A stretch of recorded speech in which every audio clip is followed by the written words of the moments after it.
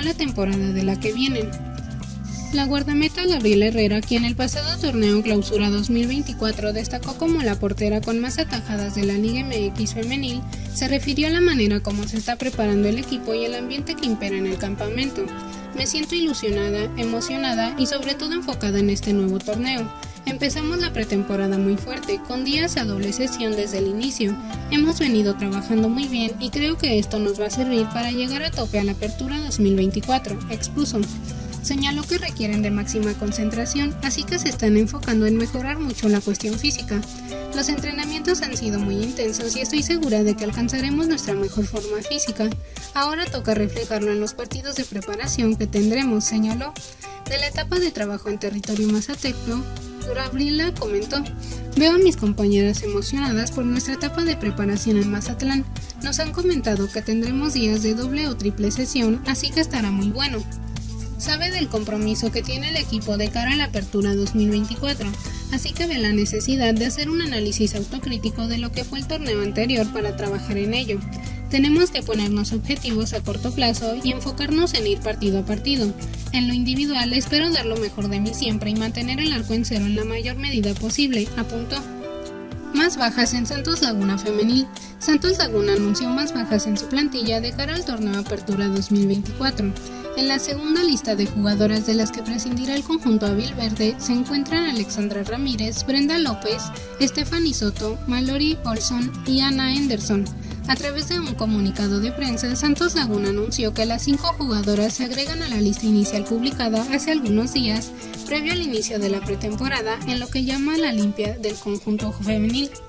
El pasado 23 de mayo, Santos dio a conocer su primera lista, la cual estuvo compuesta por Carol Contreras, Natalia Miramontes, Sofía García, Arlet Tobar, Michael Benis, Cintia Rodríguez, Fernanda de Alba y la seleccionada por Puerto Rico, Joan Love. Todas ellas han finalizado su etapa como albiverdes, prácticamente medio equipo, por lo que quedan más vacantes para la llegada de refuerzos tal y como se esperaba luego de la mala temporada que dieron. Algunas jugadoras solo estuvieron un torneo como el Viverdes, muestra de que no hubo adaptación. Por otro lado, Santos le abre a la América las puertas del territorio Santos Modelo para que sea local de manera provisional. En un gesto de cooperación y solidaridad, Dante Lizalde, presidente de Santos Laguna, expresó la disposición del club para que América juegue algunos de sus partidos de local en el territorio Santos Modelo durante la remodelación del Estadio Azteca. Esta oferta viene en un momento crítico, ya que el Estadio Azteca estará cerrado durante los próximos 18 meses para renovaciones en preparación para la Copa del Mundo. Elizalde destacó que el territorio Santos Modelo es un complejo moderno y capacitado para albergar a dos equipos simultáneamente, asegurando que el estadio tiene la infraestructura necesaria para recibir eventos de gran envergadura sin inconvenientes. Siempre estaríamos abiertos. El territorio Santos Modelo es un recinto que tiene la capacidad para recibir este tipo de eventos. Es un complejo moderno que tiene esta adaptabilidad para poder recibir y atender a dos clubes sin ningún problema. Desconozco si hay alguna conversación abierta, pero la capacidad y la voluntad la tenemos, afirmó el dirigente. La directiva de la América ha sido informada de que no podrá utilizar el Estadio Azteca durante el próximo año y medio debido a las obras de renovación. Esta situación ha llevado a las Águilas a explorar diversas alternativas para sus juegos de local. Inicialmente se consideró el Estadio Azul como una opción fija, pero el club ha decidido diversificar sus sedes planeando jugar en varios estados del país. Ricardo Marín está listo para enfrentar de nuevo a su ex equipo América y esta ocasión será especial.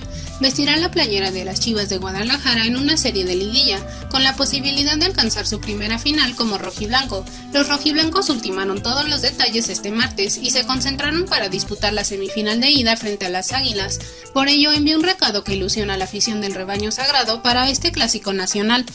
El estelar atacante que llegó como refuerzo para la apertura 2023 viene de ser consecuente en la alineación del entrenador Fernando Gago. Los rojiblancos impusieron por la mínima diferencia a Toluca en los cuartos de final del torneo Clausura 2024 de la Liga MX.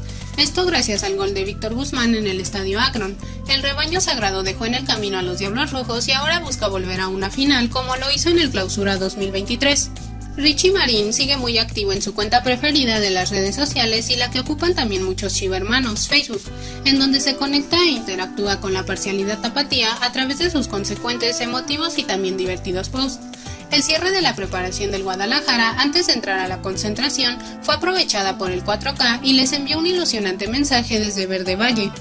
Marino apareció este martes en su cuenta oficial con una publicación motivadora justo antes de iniciar la concentración de Chivas. El delantero les regaló una postal en la que descansa en la práctica junto con Víctor Guzmán, Eric Gutiérrez, Roberto Alvarado y Fernando Beltrán.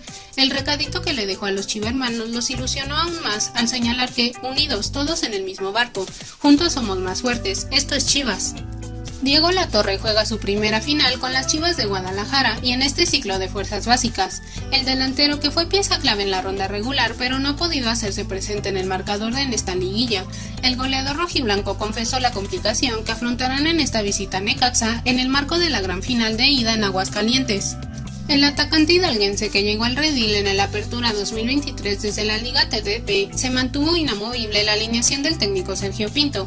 El rebaño sagrado juvenil viene de igualar 2 a 2 con América en Verde Valle para asegurar el pase a esta serie por la corona. Los tapatíos cerrarán de nuevo como anfitriones, aunque será en el estadio Akron. La torre es consciente del reto que afronta con los rojiblancos y la gloria que puede alcanzar. El delantero estelar del Guadalajara juvenil platicó en exclusiva con Rebaño Pasión y se refirió al trabajo para encarar esta gran final. La torre confirmó desde Aguascalientes que se encuentran listos para mañana. Refirió que al equipo lo veo muy concentrado y preparado para jugar la final.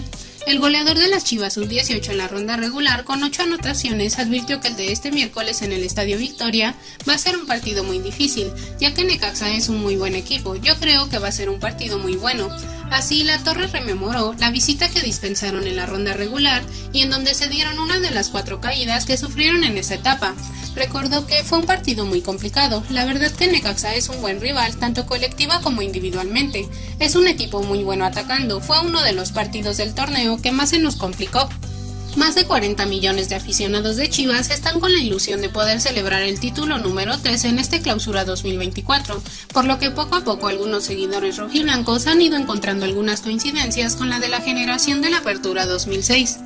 En aquel título con el que se enmarcó el centenario del Club Deportivo Guadalajara, la escuadra rojiblanca estaba plagada de futbolistas que se convirtieron en leyendas de la institución, como Oswaldo Sánchez, Ramón Morales, Gonzalo Pineda, Alberto Medina, Omar Bravo, Adolfo Bautista, entre otros. Sin embargo, esta generación del Clausura 2024 quiere seguir los pasos de este equipo legendario, en donde los aficionados encuentran algunas similitudes que están haciendo soñar a más de un chivo hermano.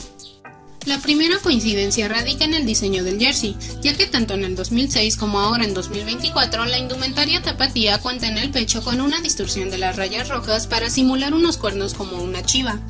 Raúl Rangel colecciona apenas 23 partidos con el primer equipo de las Chivas de Guadalajara y se encuentra en su primera liguilla, ahora deberá afrontar una emotiva serie del Clásico Nacional por un boleto en la gran final del torneo Clausura 2024. El portero titular e inamovible en la gestión del entrenador Fernando Gago se consolidó en la épica etapa cumbre de la ronda regular. Inclusive la Liga MX lo confirmó tras su desempeño clave en los cuartos de final para dejar a Toluca en el camino. El guardameta canterano del rebaño sagrado se afianzó en la alineación del cuerpo técnico que lidera Gago en este torneo. Los tapatíos presumen de una defensiva sólida que comanda el arquero jalisciense de 24 años de edad. Se impusieron a los Diablos Rojos con el gol que marcó Víctor Guzmán en el juego de ida en el estadio Akron, el único tanto de toda la serie. Ahora intentarán repetirlo en la semifinal para eliminar a su eterno rival y continuar hasta la final del Clausura 2024. El portero titular del Guadalajara se estrenó con el primer equipo en la League Cup 2023 antes de hacerlo en la Liga MX. Tala Rangel fue el arquero en las visitas a Cincinnati y Kansas City en el verano pasado. Debutó el domingo 1 de octubre de 2023 en el empate 1 a 1 con Toluca en el Estadio Nemesio 10, en donde ahora se consolidó como defensor del arco rojiblanco y así lo confirmó la Liga MX. Rangel, después de ser la figura en la bombonera para sellar el pase de los tapatíos a la semifinal, recibió el respectivo reconocimiento. La Liga MX lo distinguió como el jugador de los cuartos de final y resaltó que el más valioso sin duda fue José Tala Rangel, un galardón que lo motiva de cara a este clásico nacional frente al América por un boleto a la gran final del Clausura 2024. El furor por la canción de Andar conmigo, interpretada por Julieta Venegas, ha alcanzado niveles insospechados entre la afición cementera, y es que el entorno de Cruz Azul no dudó en adoptar esta melodía como nuevo himno gracias a Martín Anselmi. y es que fue el propio estratega de la máquina quien en una especie de dedicatoria reafirmó con esta canción su compromiso con el equipo cementero y la afición, luego de que la directiva extendiera su contrato hasta el 2027. De esta manera no ha dejado de sonar desde entonces. Incluso luego de que Cruz Azul sellara su pase a la semifinal tras vencer a Pumas en los cuartos de final, Andar conmigo retumbó a todo volumen y con gran entusiasmo por todo el Estadio Azul. Incluso ya ha sido considerada como toda una cabala luego del triunfo cementero ante los felinos en la llave. Boletos para Cruz Azul vs Monterrey, precio y cuando salen en Ticketmaster para la semifinal en el azul. Es así que la afición celeste no dudó en ir directamente con la autora e intérprete de este tema para agradecerle, y es que los mensajes con emojis alusivos a la máquina le llovieron a la cantante mexicana a través de sus redes sociales. Shay DJ, una productora musical argentina pero nacionalizada mexicana, puso a bailar a todo el Estadio Ciudad de los Deportes en la previa del duelo de vuelta de los cuartos de final del Clausura 2024 entre Cruz Azul y Pumas. Con un juego de luces sin precedentes, el show que presentó el artista encandiló a todos los asistentes del encuentro. Esa onda musical también se contagió en el vestuario de Cruz Azul, y es que Carlos Rotondi y Gonzalo Piovi publicaron sendas imágenes junto a Bizarrap, el productor musical argentino y referente de la música electrónica más importante del momento. Al ver las fotografías en redes sociales, no fueron pocos los fanáticos que pidieron la presentación de Bizarrap en semifinales. No obstante, y a pesar de que desde el club se espera un gran show de apertura en el duelo de vuelta de las semifinales ante los regiomontanos, la presencia de Bizarrap no es más que una utopía. La estadía del artista en tierras aztecas se debió a una serie de presentaciones que llevó a cabo en el suelo local. Shady J, quien sí estuvo en los cuartos de final ante Pumas, sí ofreció sus servicios a través de un comentario en Instagram, pero su presencia tampoco está garantizada. El duelo de Cruz Azul contra Rayados de Monterrey está programado para el próximo domingo 19 de mayo a partir de las 19 horas.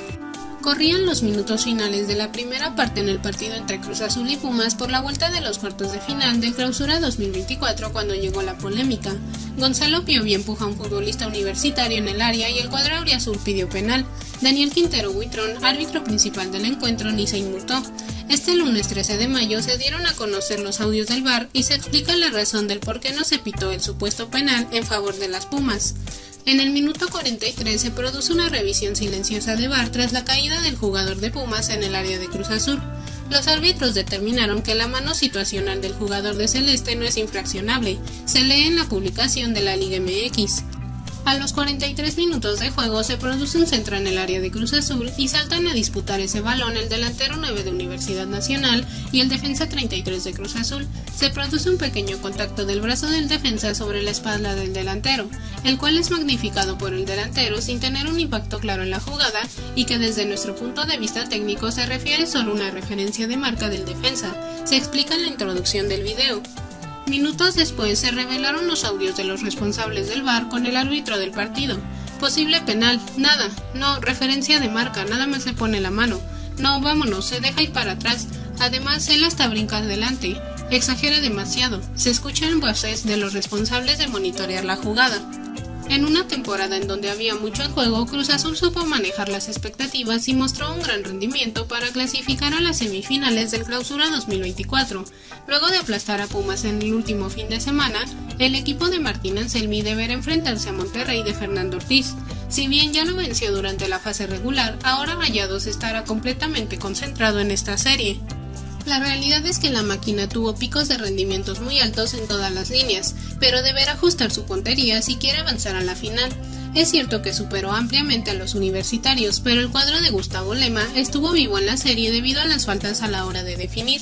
Mientras que Ignacio Rivero desperdició dos ocasiones claras en la ida, Uriel Antuna hizo lo mismo en la vuelta para sentenciar el partido. Otro de los aspectos que se tiene en cuenta para las semifinales es el arbitraje, ya que ha sido un punto de inflexión durante toda la liguilla. Las polémicas se han llevado los reflectores y Cruz Azul ha sido uno de los que más fueron afectados. Curiosamente, la Federación Mexicana de Fútbol determinó que Daniel Quintero sea el silbante para las semifinales contra Monterrey. Lo insólito de esta designación es que el árbitro de 34 años viene de dirigir la vuelta entre Cruz Azul y Pumas, en donde no cobró un penal insólito contra Uriel Antuna. Asimismo, el aficionado cementero sintió que no fue tan severo en las amonestaciones contra los jugadores universitarios como si lo fue con los celestes. Además, se suma el hecho de que es la primera vez que estará a cargo de unas semifinales de liguilla.